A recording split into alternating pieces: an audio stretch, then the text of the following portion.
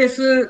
始まりましたけど、はい。どうですか？今ですか？そうですね。ベルダーブレーメンは確か2勝2敗だったかな。うん。うん。あれ、あの、あの大卒、大卒ルーキーの子、ケイン。確か公式戦かなんか出ませんでしたっけ？公式戦は出てないんでしたっけ？ケイン。ケイン、佐藤ケイン。あ、佐藤ケイ。はいはいはいはい。えっ、と、出てないはず、確かな。出てないんでしたっけ？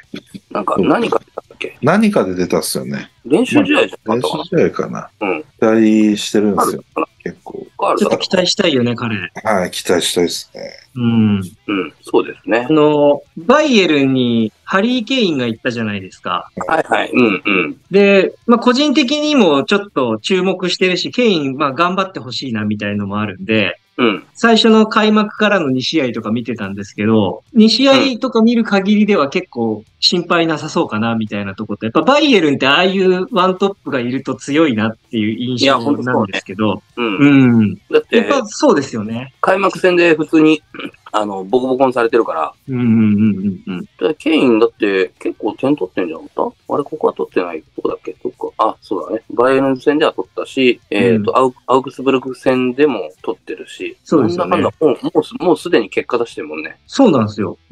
最初フィットするまで時間かかるかなとかは思ったけど、結構すぐやっぱゴール決めてるから、まあさすがだな、みたいなのはあるし。まあ、周りの選手がいいとね、それはまあ、そうなるでしょうっていうね。うんうんうんうんまあ、彼には取れなかったね、えっ、と、その、チャンピオンズリーグうんうん。と、なんかバイエルで挑戦してほしいなって思うけど。うん。そうですね。うん。やっぱドイツは今年もやっぱバイエルン中心に行く感じになりそうですかね。そうだね。まあ、3連勝してるしね。うん。うん。フィルクルクがドルトムドルトムント行ったから、あ、そうなんだ。え、えーそうフィルクルクがそうなんですかドルトそう、そうですよ。あ俺それ知らなかった。俺も知ら滑り込みでドル、滑り込みでドルトムントにフィルクルク行きました。た。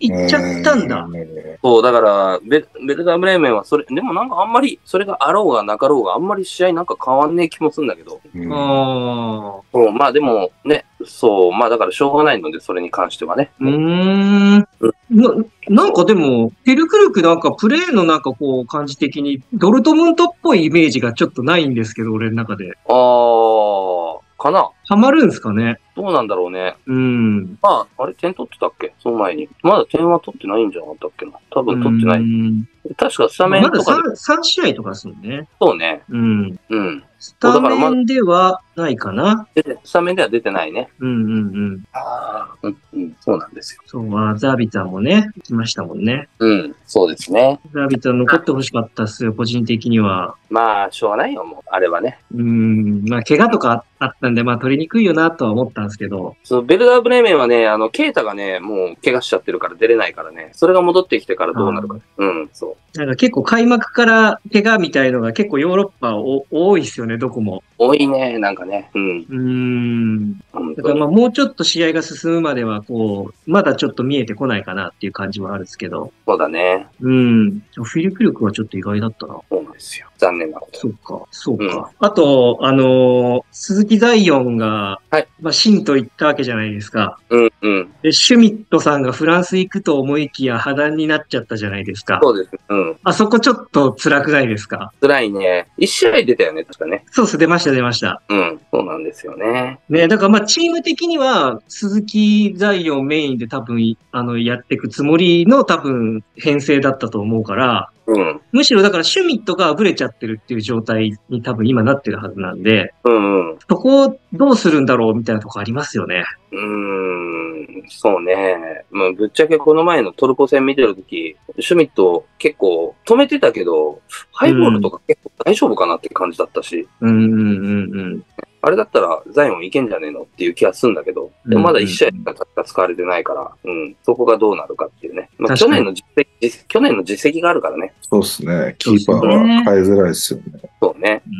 うんうん。まあ、そんまあなところです。そんなところですかね。うん。まあ大丈夫そうであればこの辺で終わっときますか？まあ、じゃあ、一個だけ触れましょうか。お、どうぞ。もう、ハンジフリックは限界でした。結局、それるんだ。あのーやっぱし、なん、なんかね、うん。俺の試合は、もうぶっちゃけ俺勝てると思ってなくて、うんああ。負けるなっていうのも分かってたんだけど、うんあの試合の次の日から俺全身にジンマシンできちゃって、えうんマジですか？もう本当に辛くて、サッカーや、うん見るのも、サッカーをやるのもやめようと思ったぐらい辛くなっちゃって、で、そしたら全身ジンマシンできて、で、うんその後にルヴァンカップでレッツが勝ったらね、ジンマシンなくなったの。なならよか、ならよかったってわけにはいかないけど。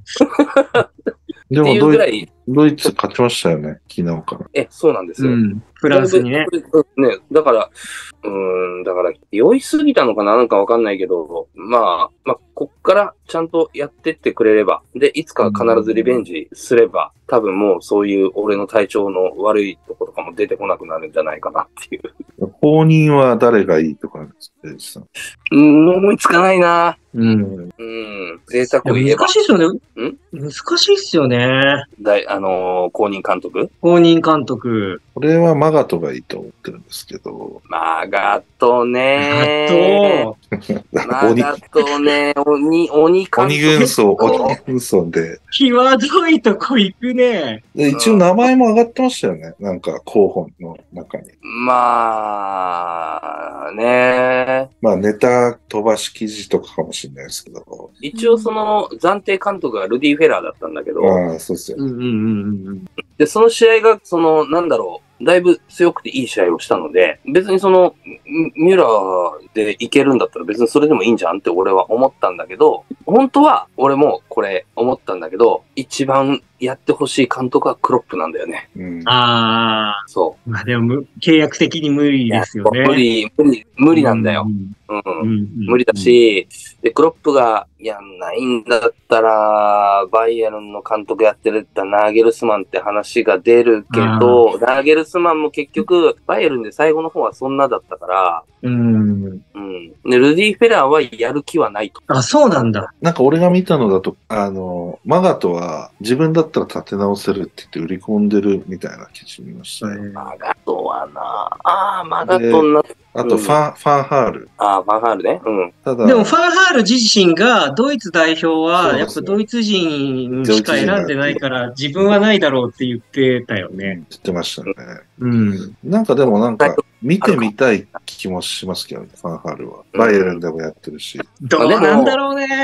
でも確かに、マサプルの言う通り、マガトみたいな人間じゃないと、もしかしたら復活できない気はしなくもない。うん。鬼監督とかじゃないと。うん。多分そういうメメンタル的なとこを、うん。こう、まあなんか、もう全然イメージでしかないですけど、なんか、うん。根性を叩き直すみたいな。とかだったら、う んまあそういうとこ、いや、確かに俺もそこが一番足りてないって思ってるから、正直今ドイツ代表って。だから、マガトね、うん、まあなし、確かにあり、ありっちゃありかな。でもすぐあれですもんね、ユーロが来ますもんね。そうだね。うん、自国開催ですもんね。そうだね。うん。いや、フリックさんもバイエルンの時、すごくいい監督だったじゃないですか。うん。だから、代表でも強くなるんだろうなって思いきやだったから、なんうか、ん、次、じゃあ誰がやるのがいいんだろうって、なんか、いまいちなんかイメージが浮かばないんですよね。そういう意味では確かにマガトっていうのは面白いかもしれないけど、なんか、うん。吉と出るか京と出るかがすごくはっきり出そうな監督ですよね。確かに。そうですね。ギャうんンブル性は高い。ギャンブルギャンブル。ね、失その、敗になった時がやばそうな。まあそうだね。うん。怖いな。うん。まあまあ、まあとりあえずそんなとこですよ。こっからまたね、見守っていきますよ、僕は。うんうんうんうん。ジンマシンが出ないようになるまで。そうジンマシンと血尿が出なくなるまでね。本当に。まあ、選手の能力は確実に高いですからね。そうそうそうそう、そうなんです。どうやってこう、チームとしてまとまっていくかだけだと思うんで、ドイツの場合は。はい。うん。本当それま。あ、ちょっと今後も、うん、ちょっとチェックしていきつつっていうところですかね。いつかそれで日本にやり返した時に多分俺は体調全部復活するはずなんで。はい。そうですね。またリベンジ、お、お互いに、う日本的にもまたドイツと試合やれたらありがたいですしね。うん。そうですね。うん。というところでいいでしょうか？いいんじゃないですかね。?OK です。じゃあ、うんちょっと、久しぶりの、あの、FKFC でしたけども、はい。えー、また、ちょっと僕の鼻も治ってきたんで、ちょいちょいやっていこうと思います。そうだね。ちょっとた高くなった、その差が。そうですね。あの、整形でちょっとね。はい。